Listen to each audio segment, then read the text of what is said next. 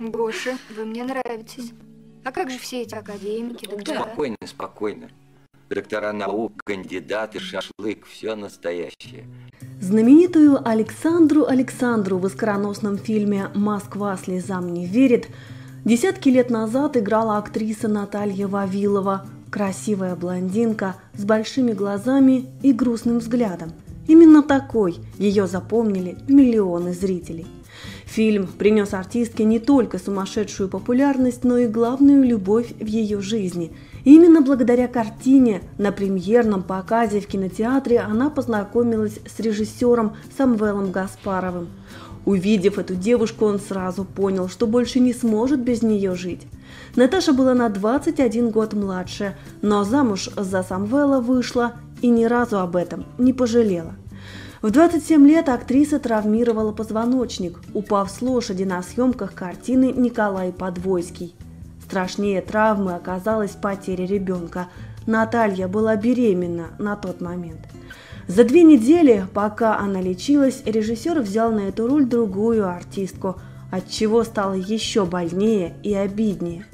Вавилова ушла в длительный отпуск – чтобы спасти жену от депрессии, Самвел бросил работу и повез ее в романтическое путешествие по Европе.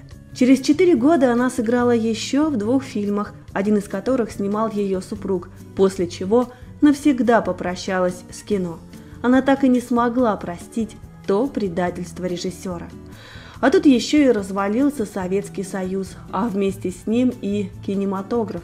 Новые роли Вавиловой предлагали, нередко, но ничего интересного для себя актриса не находила. Общение с журналистами она избегала, полностью посвятила себя мужу и дому. На загородном участке занималась садоводством и разведением цветов. Много времени уделяла благотворительности, помогая детским домам. А в мае 2020 года актриса осталась одна. Теперь она вдова. Перед этим ее мужа долгое время мучила язва желудка. Он перенес операцию и сильно похудел.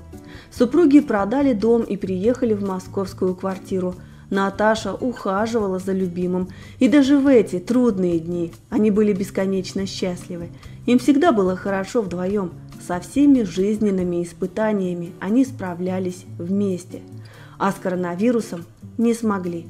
Именно его последствия и забрали Самвела Гаспарова. Ему было 81. Смерть мужа сильно подкосила Наталью.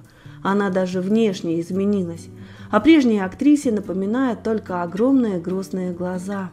По словам друзей, раньше они общались благодаря очень компанейскому Самвелу, а Наташа – женщина прекрасная, но закрытая. Будучи пятым ребенком в многодетной семье, она не остается сейчас одна, к счастью.